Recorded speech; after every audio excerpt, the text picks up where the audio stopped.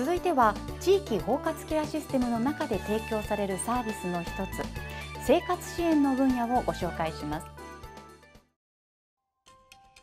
4人に1人が75歳以上となる2025年問題が迫る中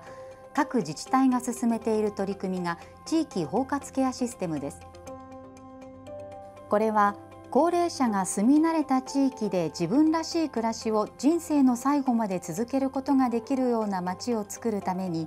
住まい、予防、生活支援、介護、医療の5分野について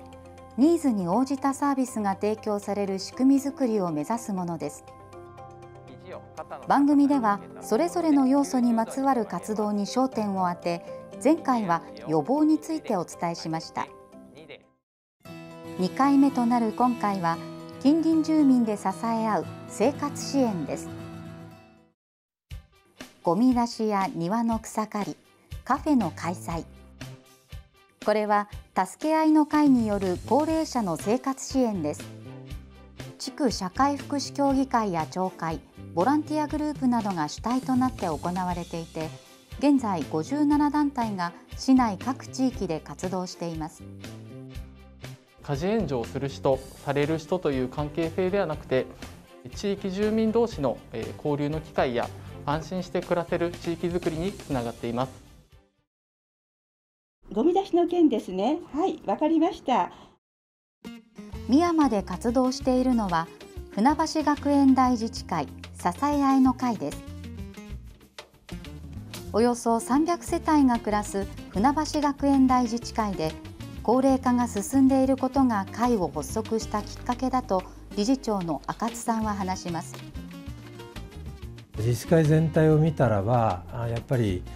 助けを必要とする人たちが増えてきてるなということから自治会員全体を対象とした助け合い組織を作らなきゃいけないなということな機運が出たみたいです。支え合いの会にはおよそ40人が在籍利用者からの依頼は理事でコーディネーターの高山絹子さんが電話で応対します。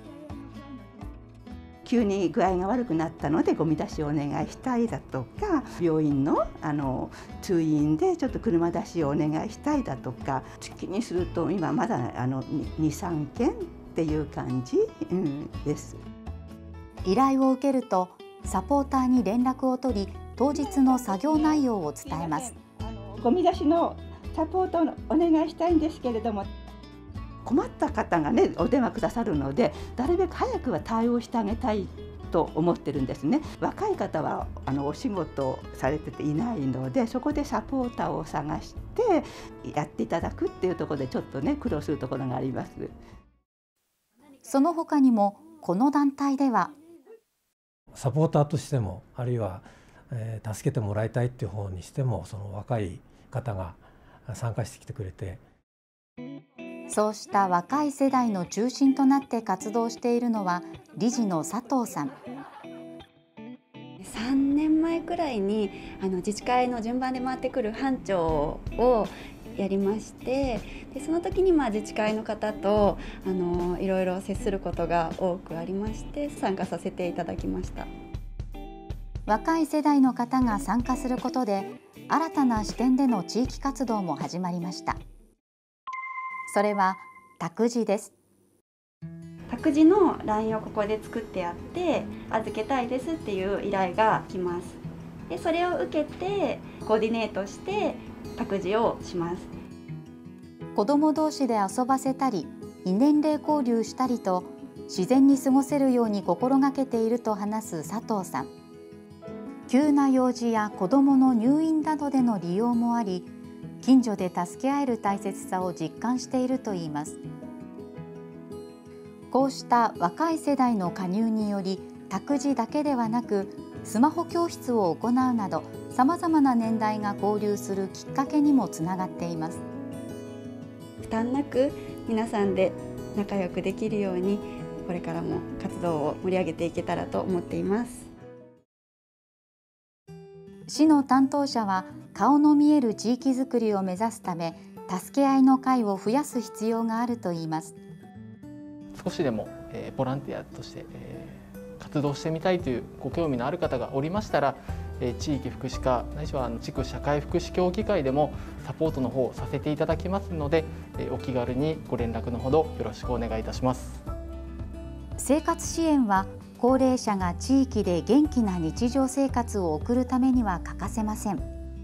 高齢になると外出などの移動や買い物が困難となり住み慣れた地域で生活していくことが難しくなります。地域で支え合う活動を持続的に行っていくためにも地域の方のご理解ご協力が欠かせません。そのため今後も助け合い活動などの支援体制づくりを推進してまいります。市の担当課では生活支援を行う団体向けの助成制度の紹介や団体立ち上げをサポートする出前講座なども行っています。地域の支え合いにぜひご参加ください。